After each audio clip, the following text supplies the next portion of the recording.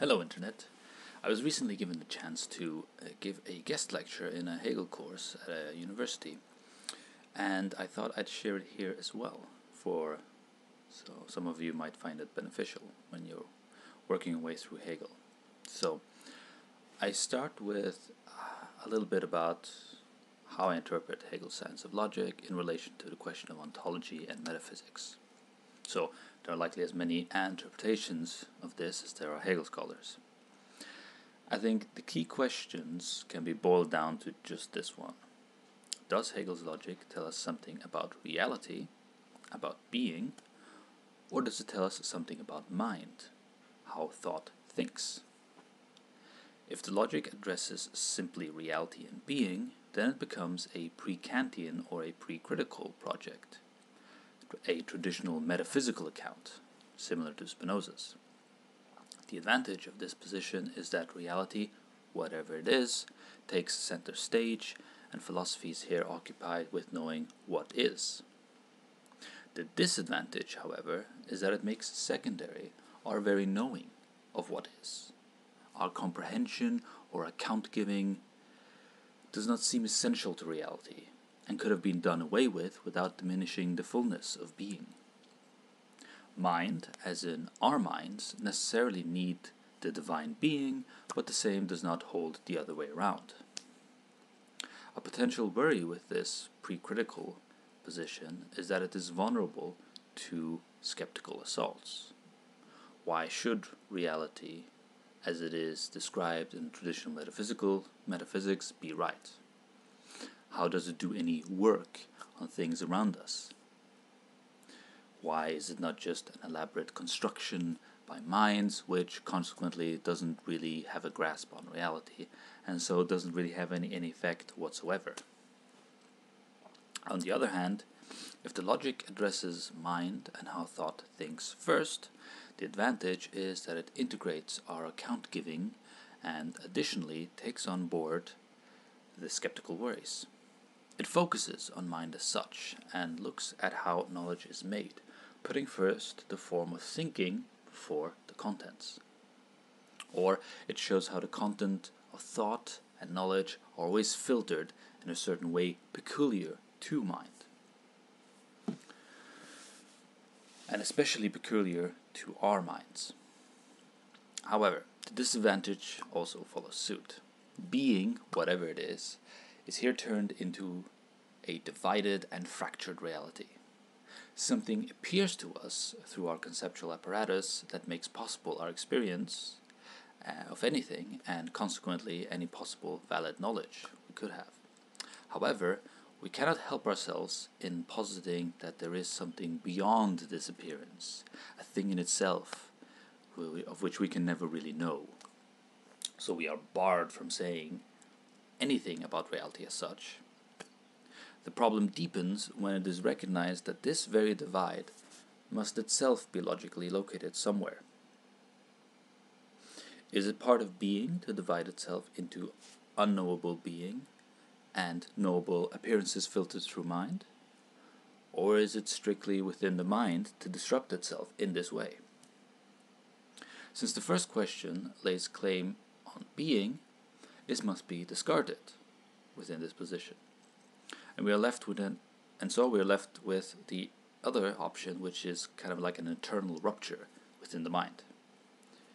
So what started out as an appeasement to the skeptic turned into a wholesale skeptical ambiguity. We cannot but take for granted both the intuitions that present sensuous matter to a mind, as well as the logic that governs our very comprehension of that sensuous matter. So I can make out an object of, let's say, you know, this, this glass, but I cannot know anything about it, what it really is apart from my experience of it, nor can I really know how the conceptual structures that mediate this as an object for me are coherently grounded. So we become like a hybrid creature suspended between the beast and the divine, never really knowing truly the reality of either. So we're alienated both from being and from mind. Hegel is acutely aware of the insights and pitfalls of both of these positions. but he also notes the development between them, particularly how the subject becomes crucial in the second position.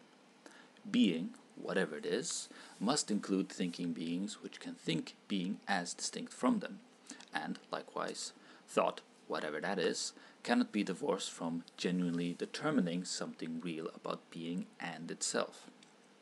So the forward development, then, cannot be a mere reduction of being and thought into a simple identity, as in pre critical metaphysics, nor can it result in the permanently fractured difference of being and thought, as critical as in critical philosophy. The filter of mind must itself be part of being and not something that stands entirely outside it.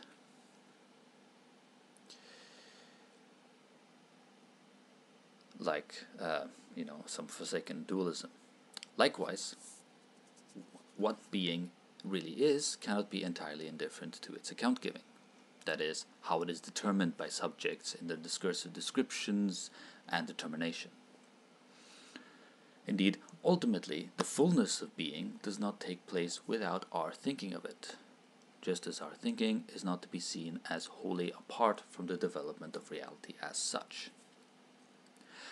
The method furnished by Hegel becomes then to radicalize the skeptical position.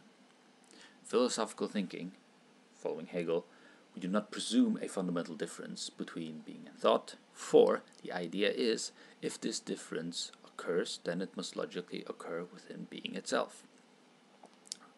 But we do not fall back into the pre critical metaphysic, metaphysical position, precisely because the account giving and self critical methodology is built into the development. Indeed, it is built in to the point where the, skeptic, the skepticism is not external to the contents of investigation, but immanent to them. So, thought here is thinking, thinking, thinking, as Pippin has put it, such that what thought thinks is itself as its own subject matter in a difference that is not really a difference, but still a difference in light of distinguishing itself from itself. But let us slow it down. The difficulty is that this radicalized skepticism is supremely abstract. Hegel's story, what we usually call, ab- call abstract doesn't really apply here, but leave that aside. So we're not standing at the end of the development, but at the beginning, and so we need a little bit of help. I've tried to show how the difference of being and thought plays out with pre-critical and crit- the critical positions. But these are more negative preparations rather than positive. So let me try to say what I think goes on in the logic in a more positive way, and then we'll go in, get into the contents of what I wanted to talk about. Just a disclaimer: I'm painting a very, very crude picture here of you know the pre uh, critical philosophies and then Kant himself. So I'm just giving a very rough picture that is supposed to ease our understanding in uh, the kind of problem problems that animate uh, Hegel's philosophy. So I'm, I'm aware that I'm not doing justice here to Spinoza or Kant, and there is much more um, going on there. But for the sake of this um, lecture, I'm just giving a much more crude picture. But hopefully, um, that still gets at the problems. So, the science of logic traces the development of being in a way that does not initially presume there is a difference between thought and being.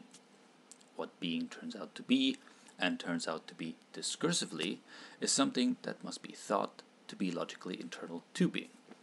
Being becomes posited, or more precisely, being posits itself, in terms of distinctions, categories, or thought determinations. So scholars eternally argue over the exact nature of these categories, are they really determinations of being, or merely determinations of being as thought by pure thinking? One view holds that they are really primarily internal to being itself and thus form part of its ontological development. So, this is a view by Houlgate, whereas another view sees it more as a development internal to mind, of which being forms a moment. So, scholars like Maker and Winfield. A third view, uh, which I've seen uh, by Etzon sees Hegel's logic as a systematic account of conceptual thought, or the concept, such that the concept is the descriptive framework of being which refers to things in being but is not those things in themselves.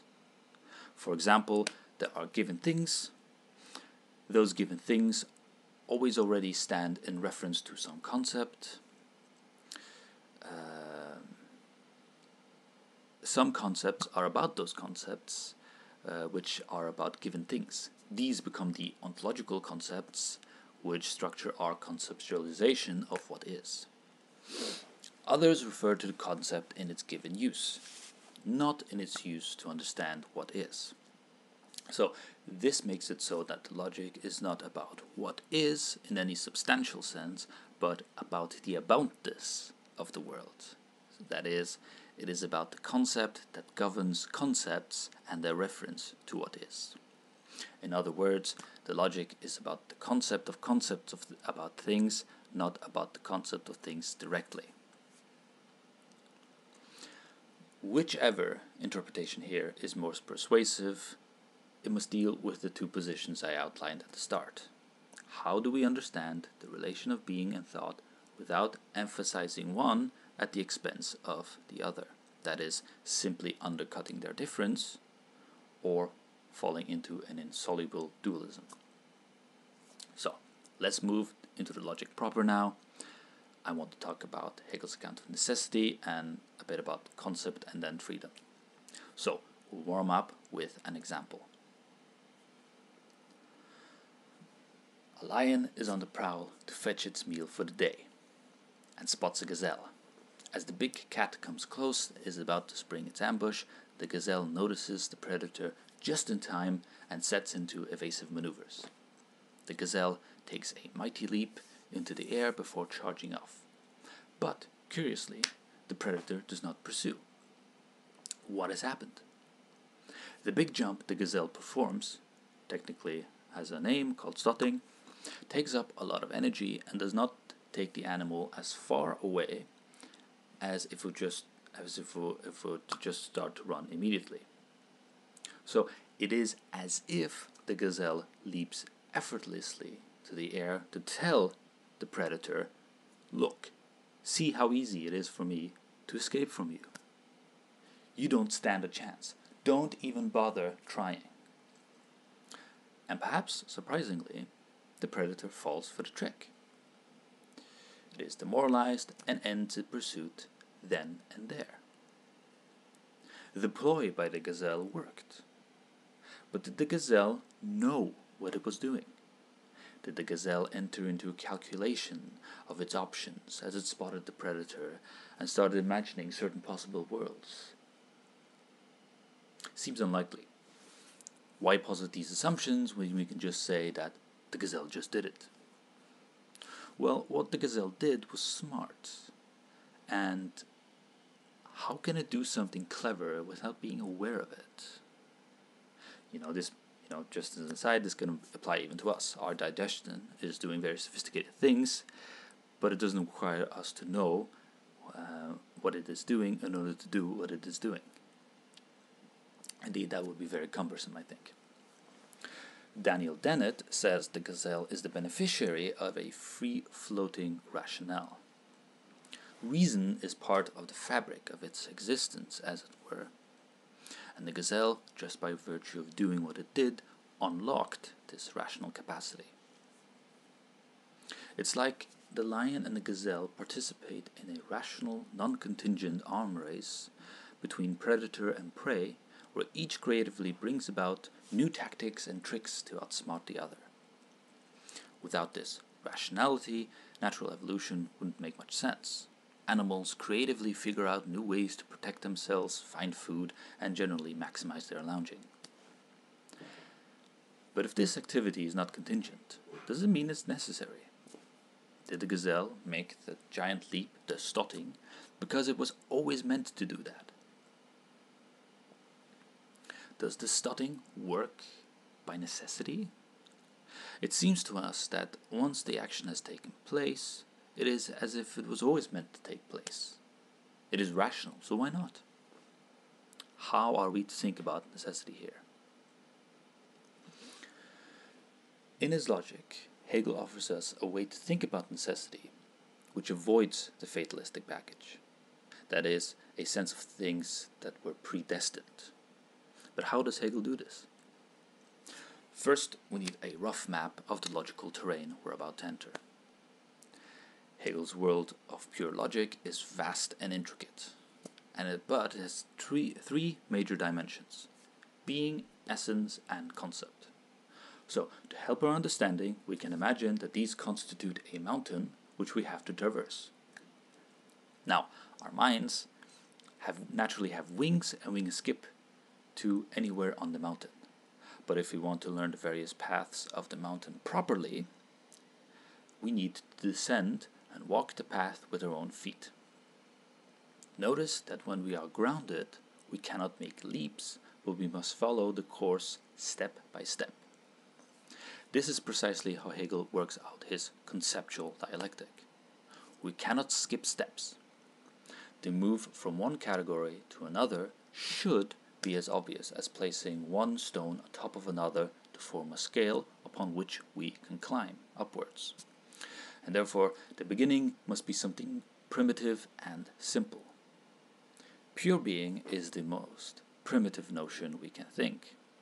It is like the very bottom of the mountain. In fact, it is just by the shore. It is our entry into this new exotic land of logic, pure logic. But pure being turns out to include a whole lot of ever more complex and mediated structures.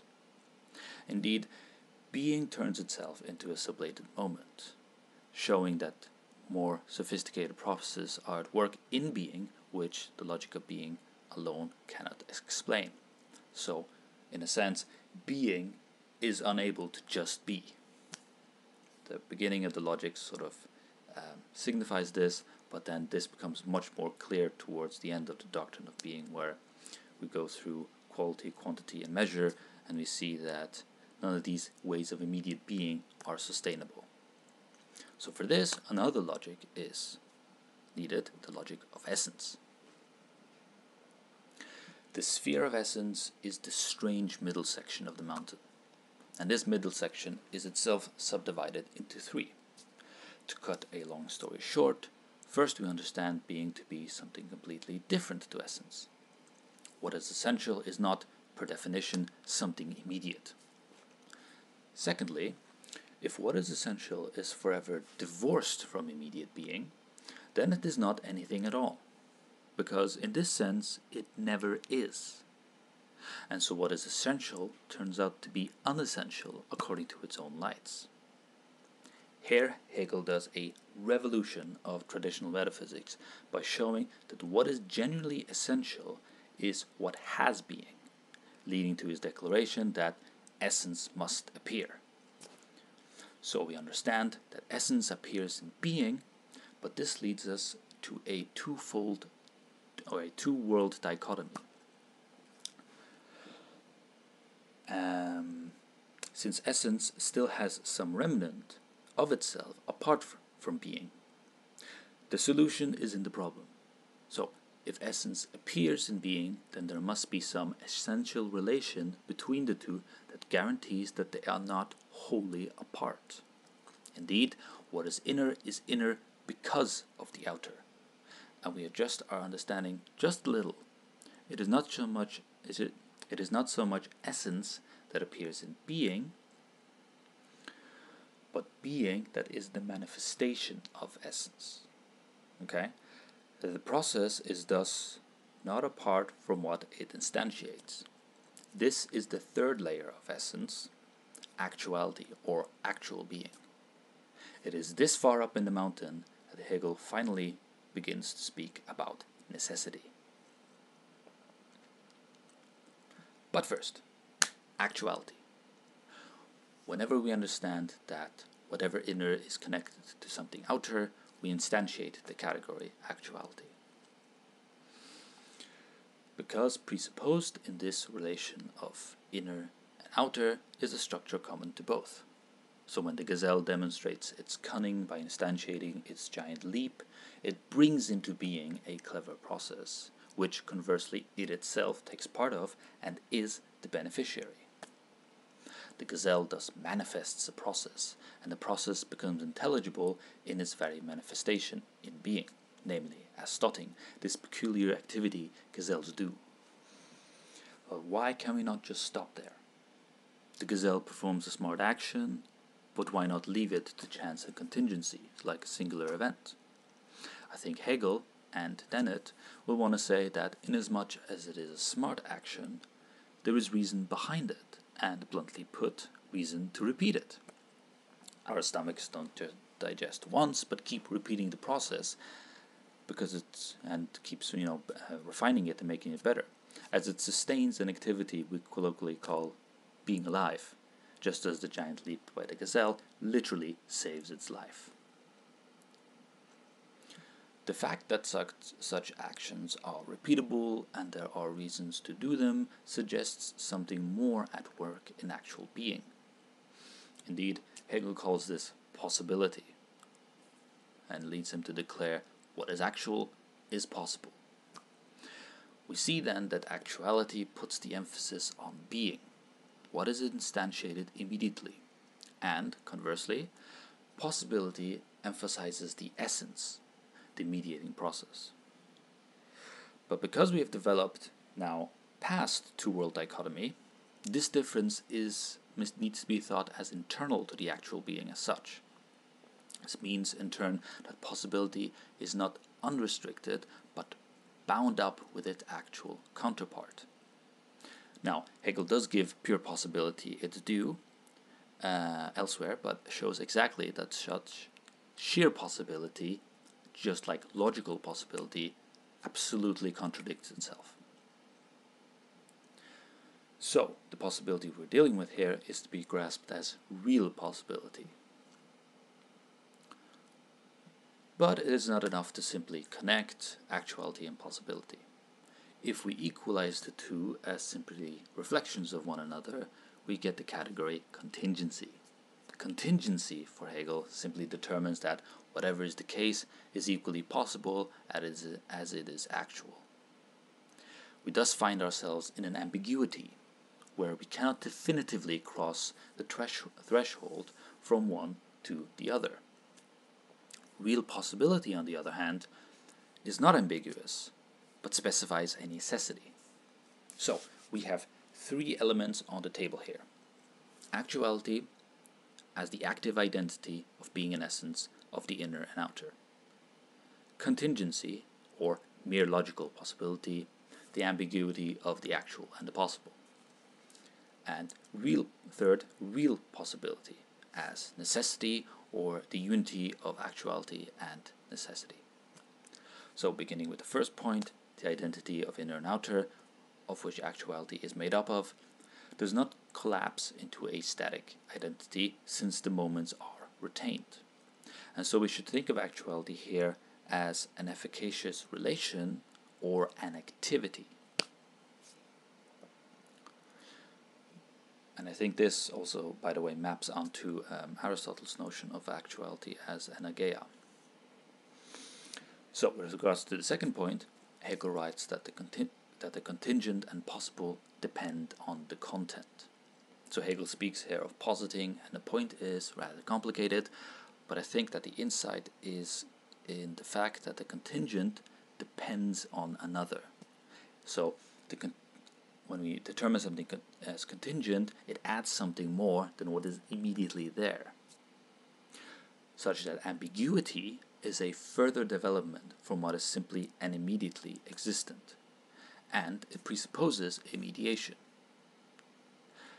The contingent is made up of two moments actual and possible, and the moment of actuality maps onto the external immediate being of actuality, whereas the moment of possibility maps onto the mediation through another. And it is and in this latter sense is rendered a condition. So contingency here is the double determination of showing that the actual being is something external and independent as well as a possible moment of another, and indeed many others. For example, the materials that make up a house, you know, wood, stone, etc., the trees, blah blah, initially exist independently without any intrinsic relationship to one another. However, in being brought together in as the house, it excludes their possibility in being a castle, a boat, a wall, furniture, and a variety of other things.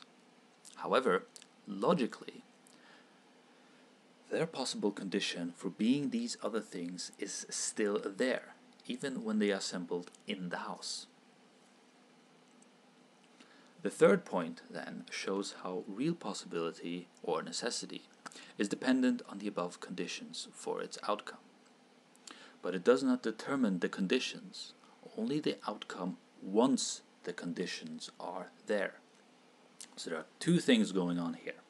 First, there is a content, namely the outcome, that necessity brings into being, based on certain conditions. Second, the necessity has no control over the conditions directly, but must wait until they are gathered together to be activated.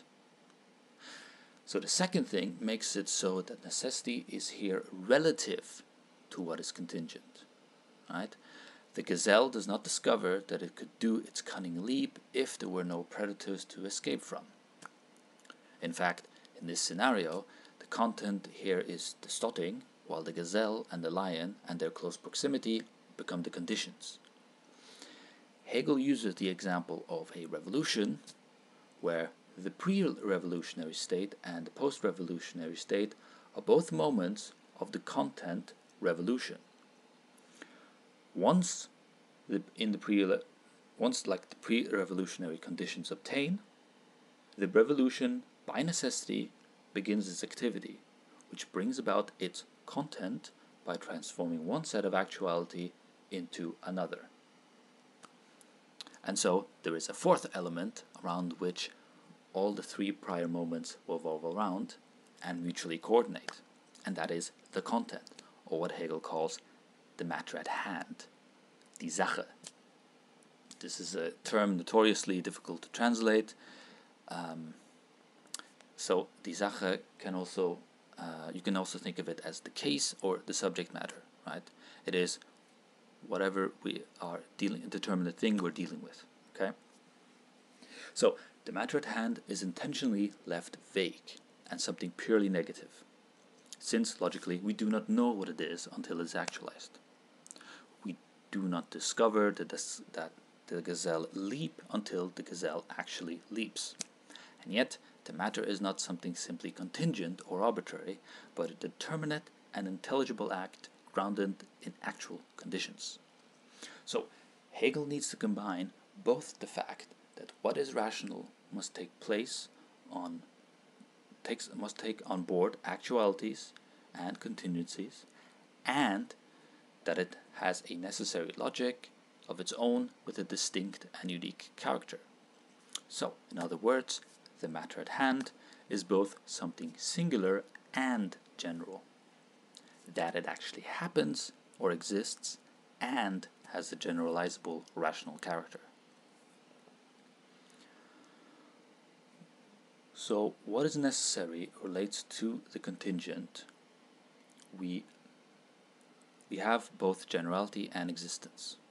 Why can we not just stop here? Well, notice the, the necessity we have thus far considered is only that necessity which is relative to the conditions and contingency. And contingency. And so it turns this necessity into something one sided and itself, in fact, contingent upon the conditions. But we see that it is not the conditions that determine the matter at hand. So it's not the lion that determines the stotting by the gazelle, but the matter at hand which determines itself by transforming the contingencies into its conditions. It is the gazelle that determines itself further by taking the predator as its conditions and inaugurating the stotting leap.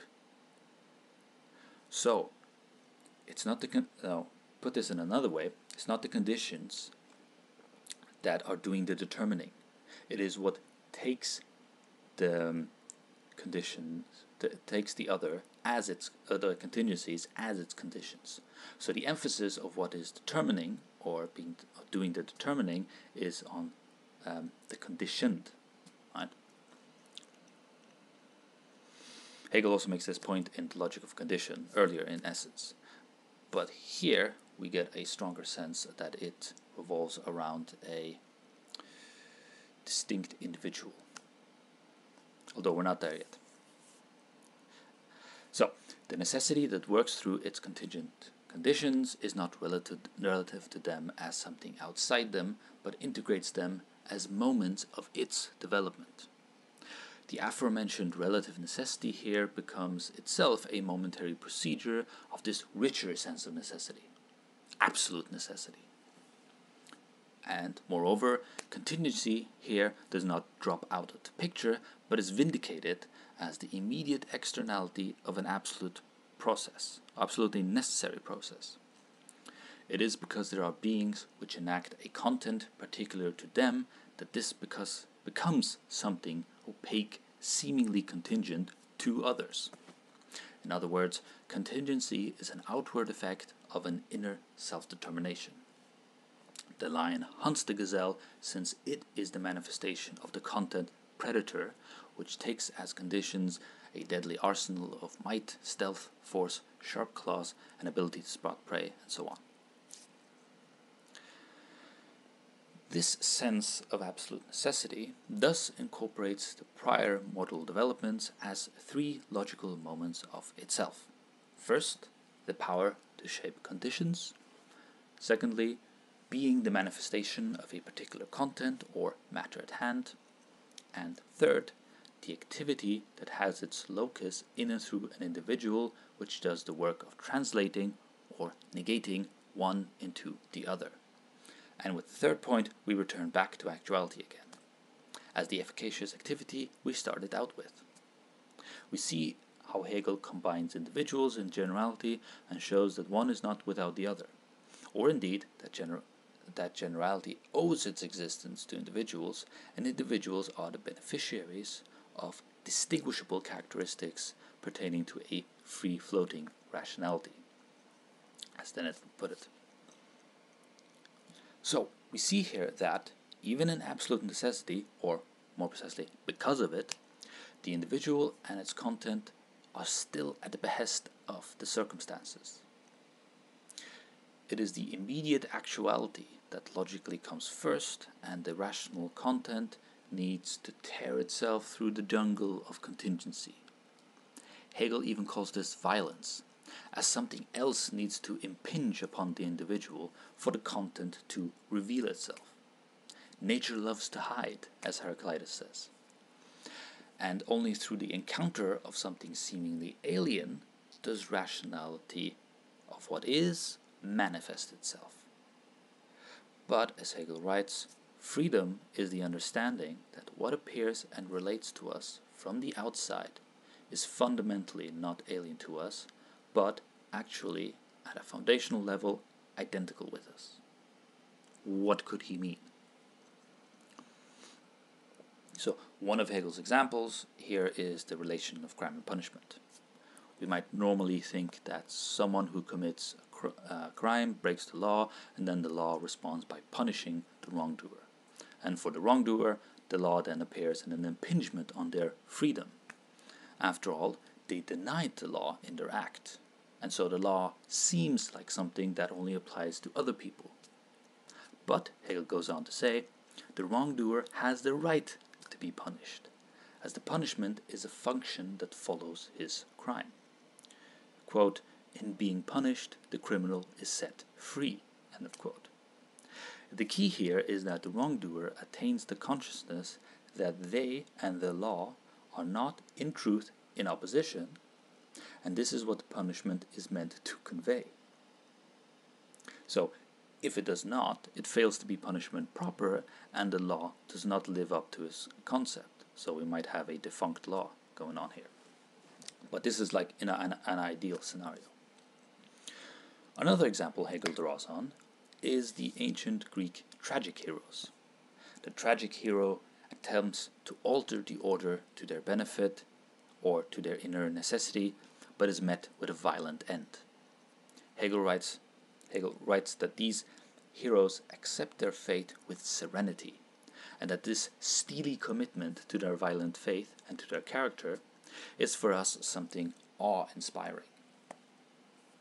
We can think here about Oedipus and even Macbeth, whose ambition drives him against the established order. These characters have no need for consolation, and indeed, consolation would be something detrimental to their character.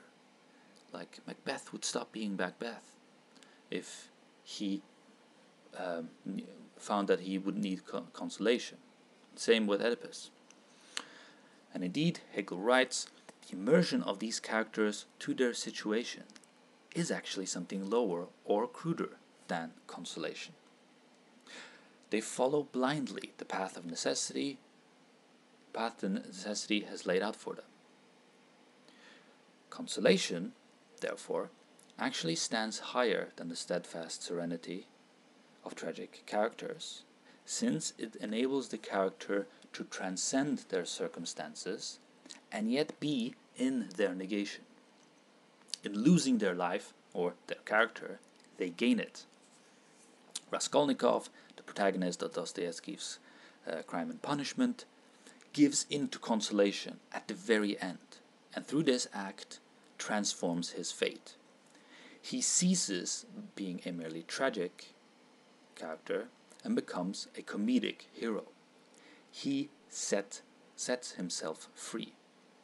Notice that this, this doesn't erase or um, you know pretend that you know the crime and the punishment didn't happen, but it also doesn't um, shows that he doesn't just give in to the situation that is given to him, both with regards to his own ambition and how that ambition um, dri- drives him into conflict with society. So, in our gazelle and lion example, there is no real way for the gazelle to truly uh, come to terms with its circumstances, but remains ensnared in a perpetual war with the predator, even though it is implicitly self determining. Human beings, concept mongering creatures that we are, can come to understand our circumstances and see how circumstances of necessity come to define who we are.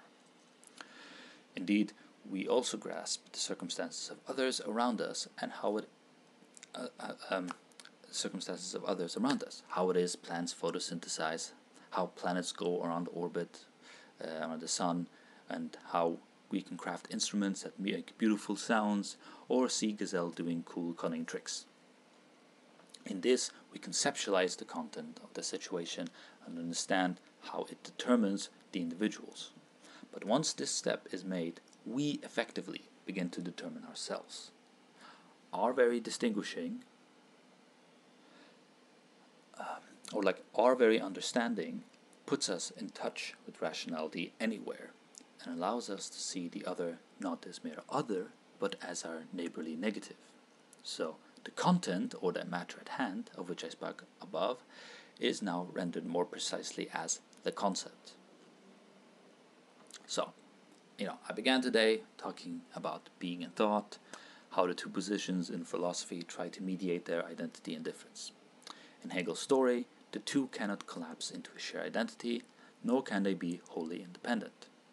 So, what seems to do justice to them, if I understand Hegel rightly, is that thought is the first negation of being as essence, but that thought then must negate this negation, so becoming the concept such that thought grasps its comprehension in being a return to itself in the thing. What happens here to necessity then? Well, necessity is not lost, but it is understood, and in being understood, it is thus redeemed. This is the dynamic of concept and freedom, and of uh, generally of idealism in general. So, the spirited movement that gives itself to itself in its other, lowering itself to elevate others. So, thus we've made it to the peak of the mountain, actually. It is the concept. But where do we go from here? What about the heavens? The spheres beyond? What conceptual thinking prompts us to do is not to give chase to new heights far beyond, but to turn around and observe the path we have already traversed and to make sense of the wholeness of it, and in this way grasp the journey and the destination as one development. And in this sense, Hegel is really the philosopher of history, right? So we see here, we haven't spoken so much about history in a, in a temporal manner, but we have spoken of logical development, which is such that the result has to incorporate the moments of which it had gone through in order to become the result that it is. Hope this was helpful. Thank you very much for listening. And uh, any more questions and thoughts and uh, ideas for improvement, just put them in the comments below. Thank you very much.